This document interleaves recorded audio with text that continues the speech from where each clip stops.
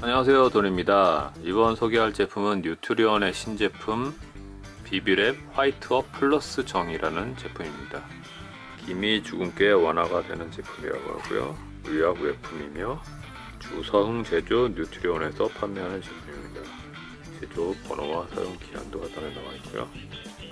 분류 번호부터 자세한 요리 성분 효능 효과 주의사항 등이 나와 있는데 육체 피로나 임신 수유기, 병중, 병우, 체력 저하 등에 먹으면 좋다고 합니다.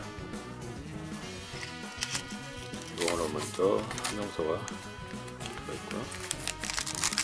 원료명 및 주의사항까지 확인할 수가 있습니다. 안에는 PTP 개별 포장 5개가 들어있습니다. 포장 하나에 두 개씩 나뉘어져서 6개가 있고요. 하얀 정제로 되어 있는데 복용 방법은 1일 1회 물과 함께 섭취하면 된다고 합니다. 지금까지 비비르 화이트 플러스 정의 간단한 리뷰였고요.